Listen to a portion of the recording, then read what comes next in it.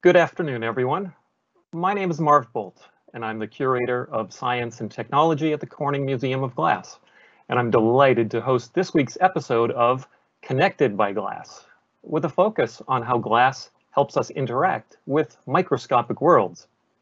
How can we use tiny, inexpensive pieces of glass to see and avoid organisms that cause sickness? And how can we add specific atoms to glass surfaces that will stop the spread of disease? In the next few minutes, we're going to explore two very different and amazing technologies.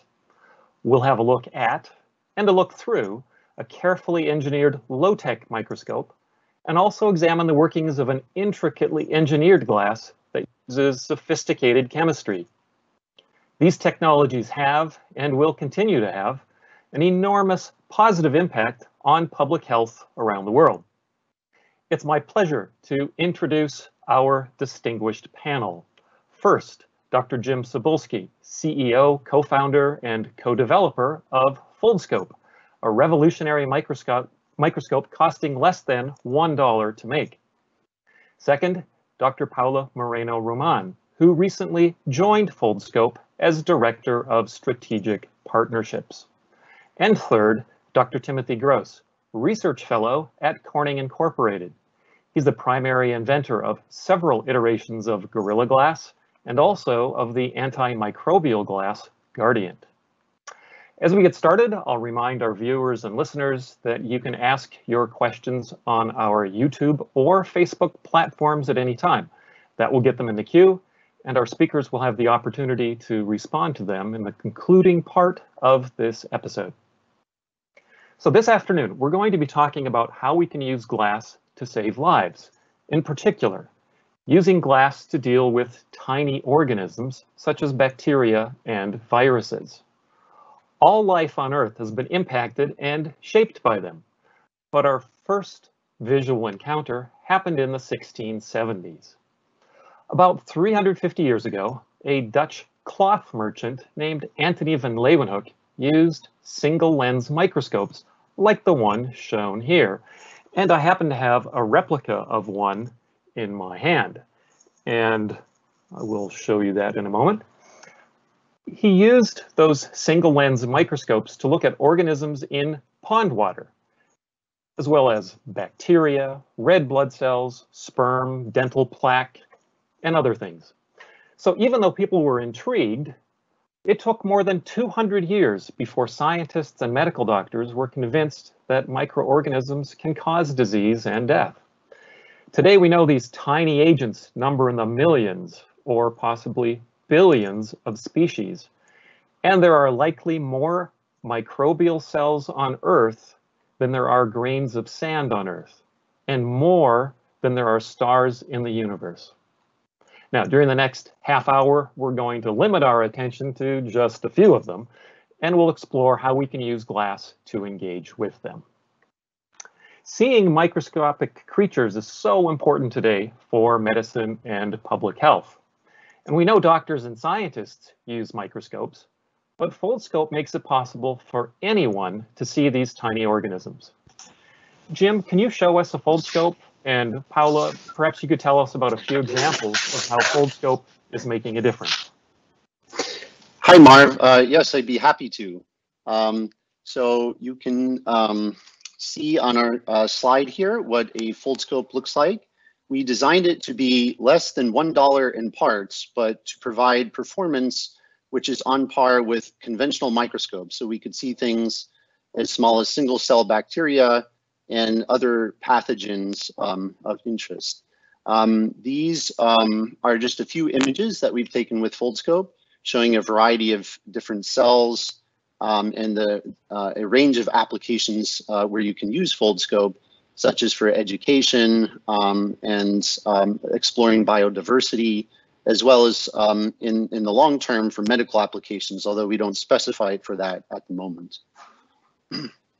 Uh, we, we designed Foldscope to have a resolution of two microns so that you can see um, uh, very small organisms and uh, 140x magnification um, so that those organisms are easily visible with your eye, but we also wanted to make it so you can attach it to a mobile phone um, for image capture.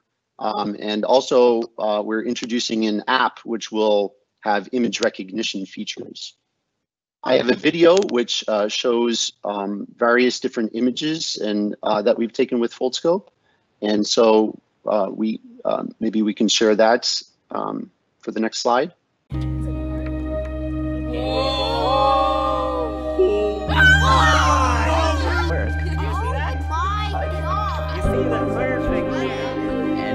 It might be trying to escape from the tape.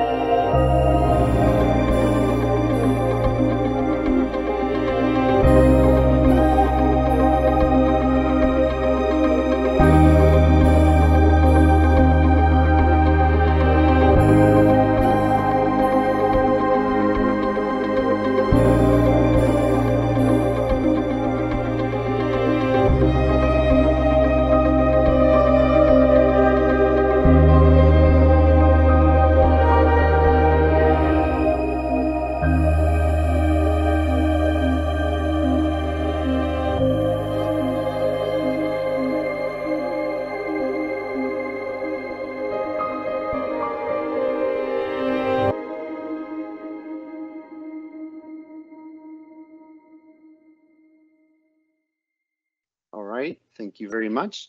Um, I'd just like to uh, do a very quick uh, uh, live demonstration of what Foldscope looks like here. Um, so this, um, the uh, instrument I'm holding here is a Foldscope. It's made of a synthetic paper, which is completely waterproof. And um, like the uh, Van Leeuwenhoek microscope that was mentioned, it uses a single ball lens, uh, which in our case is made of borosilicate glass. Um, we insert the slide from the back you can clip a light source on or use uh, uh, external lighting. You can view it directly with your eye, or you can attach a, a cell phone just by putting a, magnetic coupler onto your phone, uh, clipping it on, and then viewing it like this. And I need to find the sample. The sample got moved. There we go.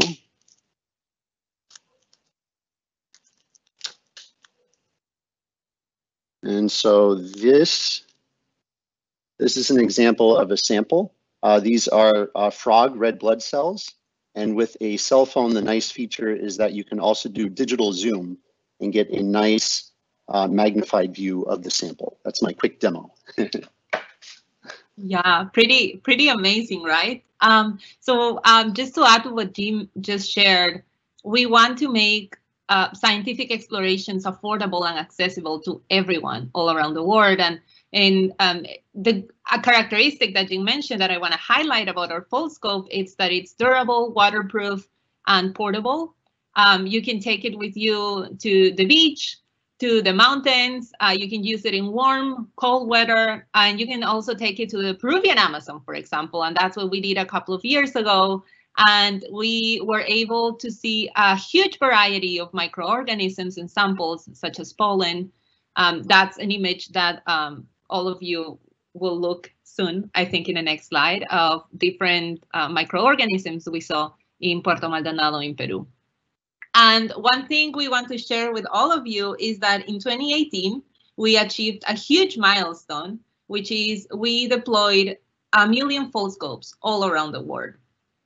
Um, we have uh, reached uh, more than 158 countries, and we are just very ha happy to see how the Foldscope community keeps on growing. And you can see over there in the map, just uh, all the different areas where we have Foldscope users, and this community keeps on growing and growing.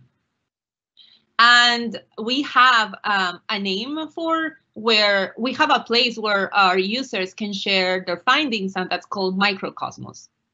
So if you go to microcosmos.foldscope.com, you can get to see a wide variety of posts where our Foldscope users, and we call some of them also super users, get to share their findings. And just to give you a, little taste of the kind of uh, posts uh, you can find, so right with the current situations, when we started, there uh, lots of talk, uh, we started talking more and more about masks. Um, one of our users wanted to look at, at the quality of different kinds of masks. So um, he did that and, and then posted it on our Microcosmos website. So we have actually a screenshot of um, what the, that post looks like if um, in one of the images. So yeah, uh, it's just an amazing place, and and that's what we want to foster and cultivate a community of people who share um, their findings with each other, um, because that's that's how we that's what we envision for the future. Wow, thanks, Paola. That's absolutely amazing. And as I was uh, listening to Jim, I realized that not only are you experiencing firsthand some of the, the, the wonders there are at the microscopic world, you're also reliving some of that excitement and, and wonder of someone like Van Leeuwenhoek or people in the past who, for the first time, were seeing things that nobody had known before. So it's a great scientific tool. It's also a great historical tool. So we've seen uh, a lot of very interesting microscopic life forms uh, many of them beneficial and some of them actually quite dangerous. And it's a good thing that we know that there is something that they don't like, namely copper and silver. So we'll turn to Tim. What is it about copper and silver that allow those materials to help us address those nasty organisms? So Marv, there are there's certain uh, metallic ions, and those you mentioned, copper and silver, are very effective at uh, destroying uh, different types of bacteria and viruses. So, because uh, of the relevance of coronavirus, I give a schematic here on the left-hand side of a, a typical coronavirus. And you see it as uh, you know, its typical features, spike proteins, which allow it to uh, attach to, you know, healthy cells. Um, you know, an envelope that protects the genetic material on the interior that uh, allows the virus to replicate. But if I take a, a, healthy coronavirus cell and expose it to copper 1 plus ions, as you see on the right hand side, uh, we can pretty rapidly destroy the cell by attacking the uh, the membrane or the uh, envelope that protects the DNA, and then actually it infiltrates the interior of the cell and disrupts the genetic material. So you know, copper and uh, silver work particularly well. And the reason this is, is the ions, you know, once they're released, they're looking for a way to become stable again so that we'll find sites um, that will allow them to reach uh, a more stable electron configuration. And in doing so, they're competing uh, for binding sites with uh, other metals that are typically uh, critical to uh, cell functionality, uh, zinc and iron, for example. And also during the process, these copper ions are going to generate some uh, pretty reactive hydroxyl radicals that are going to also uh, lead to the destruction of these cells. So if I get this right, we've got ions of copper and silver that that breach the fortress. They they attack the border wall, but then they attack the operating system as well. So it's uh, a multi-pronged attack. Then is that right? Yeah, that's correct. Um, if you look at this slide that you know we have up right now, um, you know both can be effective, but what we see through our testing and analysis is that copper is much more uh, antimicrobial and antiviral for that case and you know can work under a wide variety of environmental conditions. So in regular uh, room temperature, uh, room relative humidities, uh, copper is very effective. On the other hand, if you compare that to silver ions, silver can be very effective, but it is limited to high temperature, high humidity cases. So um, it kind of limits its application space.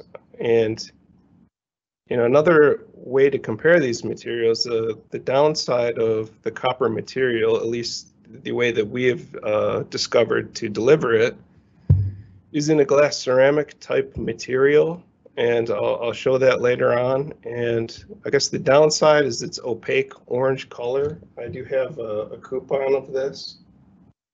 And you can see, you know, it's a pretty uh, distinct color for this material. But now, that being the case, it can certainly limit the application space and the things that it can be loaded into in a powder form. Um, on the other hand, for silver ions, we can really readily incorporate this into transparent glass um, through ion exchange processes. All right, so the context suggests and determines really which which approach you take, but they both function similarly.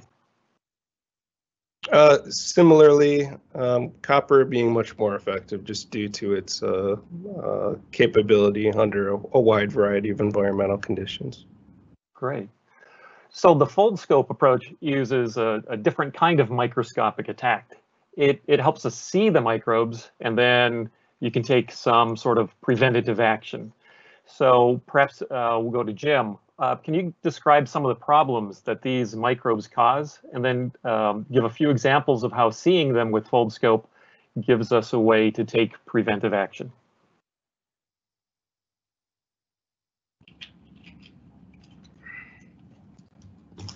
Yes, sorry. Um, yes, thank you, Marv. Um, so there's a variety of different um, microbes that we have uh, viewed with Foldscope, um, you know, some of which are uh, pathogens for humans. Um, uh, some of the work that we've done is related to uh, schistosomiasis and also a number of different soil transmitted helminths. Uh, one that I'm showing in the slide here um, is um, a diagnosis of a disease called Ascaris.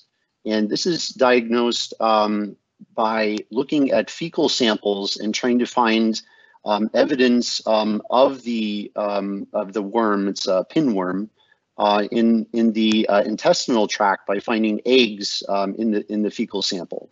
And uh, so what I'm showing here, um, we did a brief uh, study of uh, some Ascaris, uh, a patient's um, a patient's fecal samples that had Ascaris in it. And this this image that I'm showing here is actually taken through a conventional microscope to give a reference. Um, so on the left is the image uh, that we took through the microscope, uh, and you see a zoomed in section of it, which shows uh, one single egg, which was visible um, in that sample. And we took the same exact sample and we put it in Foldscope to determine if that would be visible. Uh, this next slide is a video. And so you can see some of the um, uh, movement on the slide there um, as during the video. And at certain points in, in, in the movement, you can see uh, little white um, ovals, which are reflective. Maybe we can play the video one more time. Uh, you should be able to identify uh, five different little ovals um, in the field of view there. And so those those are the um, the eggs, which um, allowed us to give a positive identification using Foldscope. And this um, this is a disease in um, Argentina specifically, which is affecting a lot of uh, children. And um, so it's um, this, the vision um, is to use this as a kit, which can help parents sort of uh, screen their children to see if this is an issue which which needs to be treated. Wow, that that's absolutely amazing to be able to see those those little organisms and and active. So we'll go back to um, to Tim here. To me, and I suspect to a lot of people in our audience, the antimicrobial glass seems sort of a mind-boggling strategy. I think in part because we think, well, glass is pretty non-reactive, it's inert, it's just there. And yet you're saying that it's actually a very active participant in this strategy. So can you show us an example of the glass and how exactly does this work? How do you deliver copper and silver with glass? Okay, so I'll, I'll go through each. The first one I'll, I'll talk about is the delivery of silver ions. So we can incorporate silver into glasses by immersing an alkali containing silicate glass into molten potassium nitrate. And this uh, elevated temperature ion exchange process uh, creates a silver rich surface layer and then following processing, where I've already incorporated the silver into the surface, um, in normal usage, we'll see a, a thin hydration layer will form on glass. And in doing so, that there are charged water species such as hydronium that will actually ion exchange with the silver, as shown in the uh, the diagram on the left-hand side.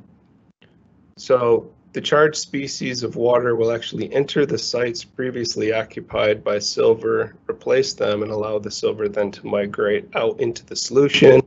Once the ions are in the solution, it'll uh, attack the, the microbes or viruses as uh, shown previously.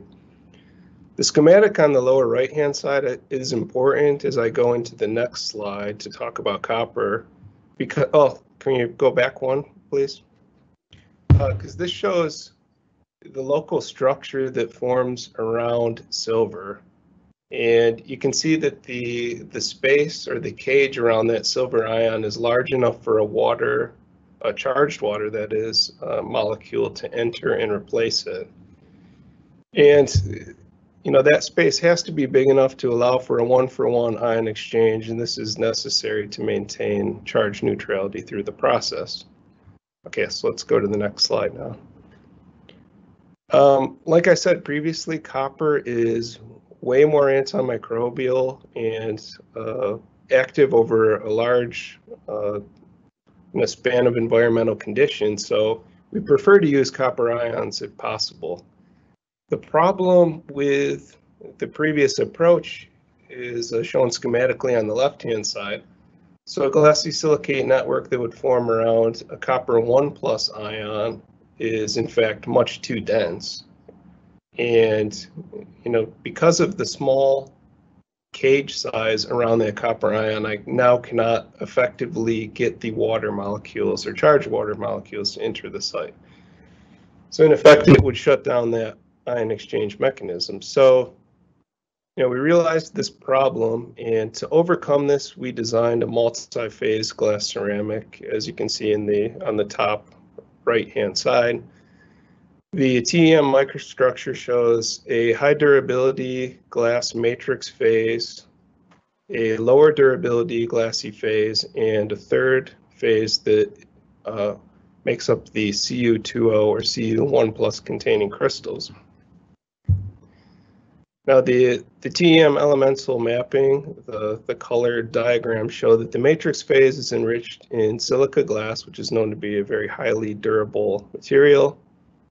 The second glassy phase is uh, comprised of phosphorus and potassium, and that phase surrounds the, the cuprite or Cu1 plus containing crystals.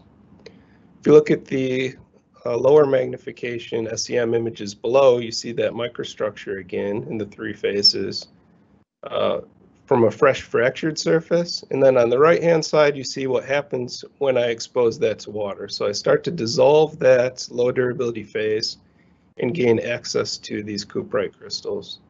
And they then release the Cu1 plus ions that provide the antiviral and antibacterial capability. So the So next this is- slide. Oh, Yeah, you go go ahead. Go ahead. Oh, then I can just wrap up uh, kind of, you know, how this thing works with this slide. So this multi-phase microstructure provides then continuous access to these Cu1 plus containing crystals. You can see on the left-hand side, the dissolution of the second phase is a function of time and the uh, access to the Cu2 plus, Cu2O crystal, sorry. Um, and then on the right-hand side, if I hold it for a very long time, um, this would uh, be like a use condition. You see, we not only gain access to all of those crystals at the surface, releasing some, um, obviously, but we also start to tunnel into the subsurface to gain access to additional crystals, and that provides this continuous uh, and sustained antimicrobial activity. So this is a pretty sophisticated glass, um, not just the way you're adding the materials, but the way you're you're delivering them, because you have to carefully think through the entire process of of how you're producing it and and delivering these uh, these ions. Where would you use uh, antimicrobial glass like this? So we have uh, a lot of uses um, and applications that we are, uh, you know, working with different customers on. Uh, the first one that we looked at because of its ubiquity is just in paints. So uh, in latex paints, uh, you know, and I have uh, some examples I can show of uh, paint panels, but loaded in at a certain amount, and in this case, 26 grams of the ground powder uh, per liter, you can see pretty significant uh, log reduction in staph as a function of time. So uh, at a level of three, it's considered complete kill. So we get to that point relatively quickly. And we've also shown uh, when looking at you know several other types of bacteria, we have similar results. So you know anything above four is certainly a complete kill. I can't show this. See if this will work. This is the powder form of that coupon. I don't know. Can open it and you can kind of see in there. So we can take that, load it into the paint, and even though it's really orange, you know, we can get pretty a pretty good uh, color palette, and a, and a lot of different uh, paint colors are uh, available. So that's the first thing, but there are many other uh, avenues that we're headed down, including uh, textiles and uh, different types of material addi- additions. So paint like this would be a great um a great opportunity for uh, for hospitals, for example.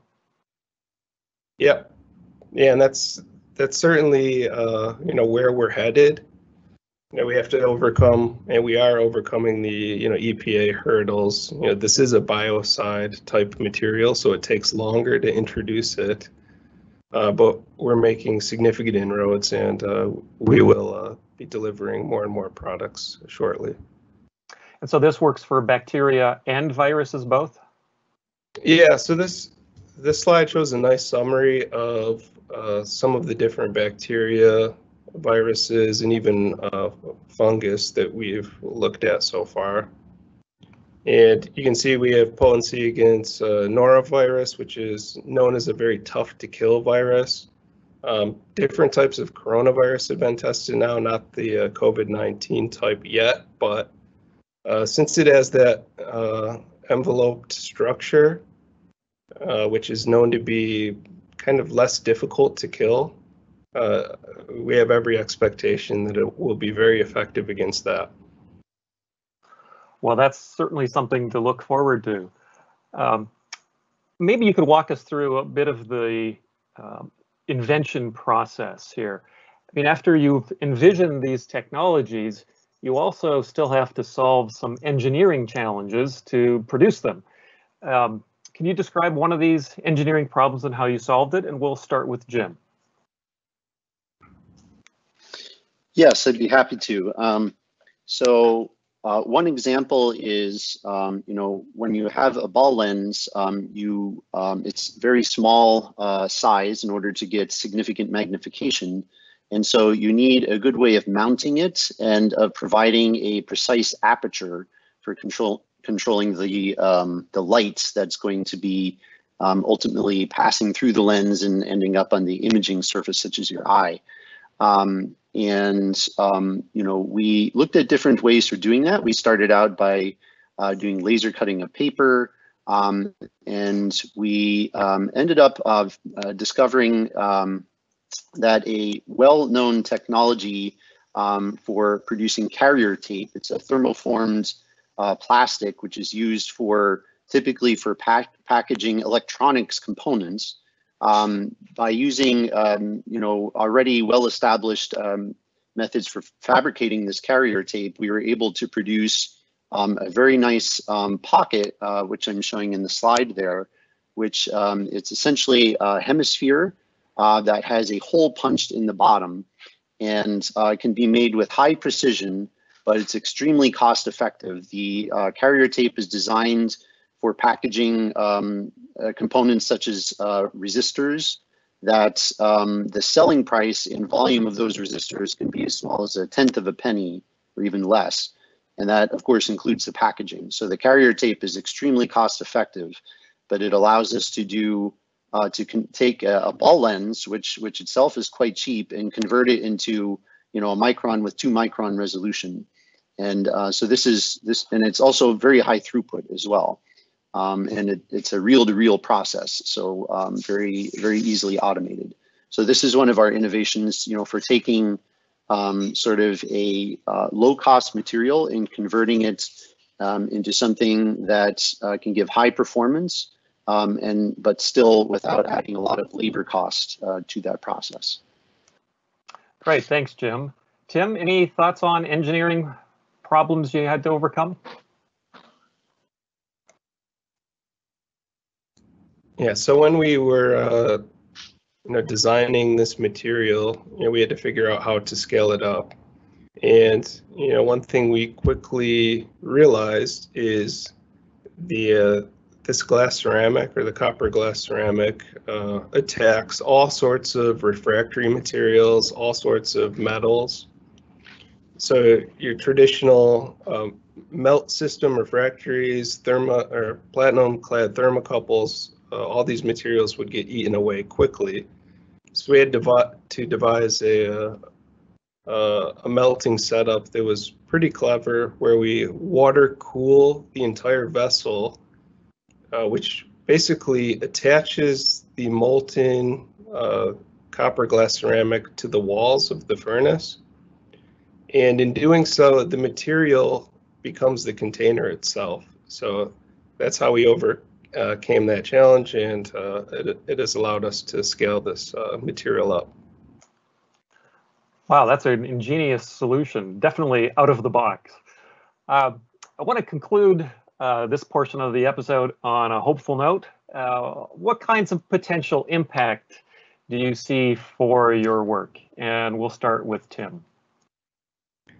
Well, I think the hope is, you know, we can play a role in you know, combating COVID-19 and other viruses which are, are bound to come in the future. And by getting these materials out there, which are safe to humans but uh, effective against uh, viruses and bacteria, uh, I think are, is going to be critical. Great, thanks, Tim. Uh, Paola? Yeah, um, as uh, I mentioned earlier at Foldscope, we have a pretty big community that keeps on growing. An example is uh, Mo, a teacher in India who's um, brought Foldscope uh, into um, different parts of India, and, and, it's the image you're looking at right now. And so many uh, kids and students have had access to this amazing tool. And um, a project uh, also that came out of the use of Foldscope is um, being able to detect plant pathogens. And uh, actually, in the next slide, um, you can see an image of, of people using that. And um, to address your question, what we want to do in the future, launch more citizen science pro uh, projects, which um, an example of one of those is uh, a group in Chile that wants to use um, a Foldscope and the community in the southern part of Chile to monitor tox toxic algae blooms. And uh, I, I, recently, a few weeks ago, we launched a mobile app where you can register, log into microcosmos.foldscope.com, and then uh, any posts you make uh, through this app will also get published there. So these, we're hoping that, you know, just using your regular phone, um, you can just share all the images and findings and pairing it with the citizen science projects will allow us to um, generate more knowledge, compare data each person is capturing, and um, yeah, you know, just um, learn more about what's happening all around the world. And yeah, we have um, a vision. And Jim, do you want to um, talk a bit more about it? Uh, yeah, just just to expound on what you're saying there. Um, I think the um, the app gives us a huge opportunity for uh, doing data collection and also, um, you know, we can um, include image recognition features in the app so that people can, you know, um, definitively know what they're looking at and can participate in some of these um, broader citizen science programs uh, that we uh, see as, as uh, part of our future vision. So we hope, you know, over time that we can literally reach um, every child in the world uh, with the Foldscope and that we can uh, just help to improve people's um, access to tools for science and their interest um, in science in general. Um, a lot of times in, um, you know, in high school and uh, different, um, you know, science courses, you're learning about science, but you're not learning to do science. And I think that's that's what we're trying to do with our products, particularly Foldscope right now, but also more products in the future, is to give people that opportunity to get their hands dirty and to learn you know what it's like to actually do science. Great, thanks, Jim. Uh, this is just so incredible. We've had a lot of questions posted, and we'll turn to a few of them to see. Uh, let's see. This first one will be for Tim. Does the antimicrobial glass have a useful lifetime? So we we haven't found it yet know, we've test we've done a lot of longevity testing, and you know, we've seen uh, you know sustained antimicrobial activity. I, am sure that it, it could, but we just haven't found that yet. So I think from a practical perspective, uh, this material has a, a very long lifetime. Excellent, thank you. So for Team Foldscope, is there a version that clips to a phone and is it available to consumers? Uh, yeah, the Foldscope, uh, it comes with a magnetic coupler. Uh, it looks like I have one taped to my phone here. So every single Foldscope uh, comes with the magnetic coupler um, and that can be attached to a cell phone and it allows you to, you know, um, uh, connect your, your cell phone to the Foldscope. And now we have an app, both Android and um, and Apple apps. Uh, so you can connect your phone. You can use the the camera app, or you can use our app from the App Store or Google Play Store. Yeah, and you can um, and you can get a Foldscope uh, if you go to our website foldscope.com. Mm -hmm. You go to the shop. You can um, either the shop or through our official distributors. You can purchase one. Excellent. A technical question for Foldscope. What's the numeric aperture of your lens? Yes, um, so the lens that we have right now, um, I believe it is, I have to look up the exact number. I think it's 0.14. Um, but um, but yeah, we have um, we have specifications, um, you know, in our uh, PLOS One paper that we published. But I, I'm normally specifying in terms of uh, resolution. I have to um, I have to confirm that, but I think it's about 0.14. Excellent. And another one for the Foldscope team. Um, we've heard about uh, COVID and uh, maybe there are some interesting other opportunities related to remote learning and uh, not just attacking organisms, but uh, ancillary results of the current pandemic. Yes, um, I'm sorry, that was for Foldscope? Yes. Yeah, sorry, I, I missed that part. Um, yeah, so um, for uh, re related to COVID-19, there's, you know, of course, a huge uh, push towards remote learning so that um, students continue uh, can continue their education even in uh, during the time when they can't be in the classroom with other students and with their teachers. And so uh, we've um, we've made a push uh, to you know try to give a lot of support to teachers and to individuals that uh, when to learn uh, to use Foldscope at home. Um, I think you know the workshop being together has a great benefit that people can work together and learn uh, different techniques for using Foldscope. But with video chats, um, you can really um, you know um, uh, have a lot of those same benefits. And uh, so we're just releasing now an assembled classroom kit so that the Foldscope comes already assembled. It has a lesson plan with it, has all the materials to do those things in the lesson plan. And um, I think it's just um, it's a time when you know uh, tools for doing remote learning is are, are going to be very valuable and uh, can really uh, give people the um, opportunity to uh, both you know continue their education at home and also explore their curiosity. Um, I think that's really a really central part of our philosophy is being curious about the world and you know trying to um, trying to see something new in in your everyday life that you never imagined was there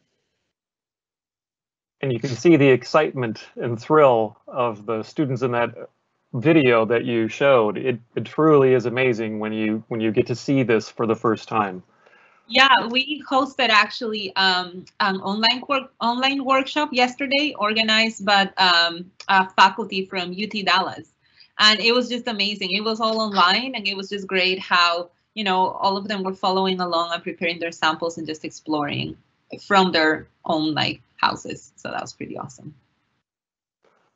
All right, and a final question before we wrap up, and this one is for Tim. Do you think we'll ever see antimicrobial glass on our personal devices? Uh, that's a good question. So, you know, as I mentioned earlier, the the silver ions can be readily incorporated into chemically strengthened cover glasses. So you know that that's a distinct possibility um, and you know backers cases things like that we can incorporate the the copper material into some of those polymeric materials um, so yeah uh, it's certainly quite a possibility all right we'll be keeping track of that uh, in the days months and years ahead well, we've reached the end of our time together, so I want to thank our guests, Dr. Jim Cybulski, Dr. Paola Moreno Roman of Foldscope, and Dr. Timothy Gross of Corning Incorporated. I think this has been a great discussion, and I hope everyone watching it at home has enjoyed it as much as I have. And perhaps you, like I, will want to have another look at some of these videos and slides to catch some of the details that we might have missed the first time which is why this episode of Connected by Glass will be added to the Corning Museum of Glass YouTube channel, along with seven other episodes on a wide range of topics. If you're enjoying Connected by Glass, please consider supporting the Corning Museum of Glass so we can continue to provide you with compelling content. Our next episode is Thursday, August 6 at 1 p.m. Look for more details on our social media soon. We hope you've been inspired to see glass in a new way, in this case, to see how glass saves lives. And we invite you to explore the exciting world of glass at the Corning Museum of Glass. Please head to our website to plan your visit. Thank you for joining us this afternoon, friends. Take care, everyone.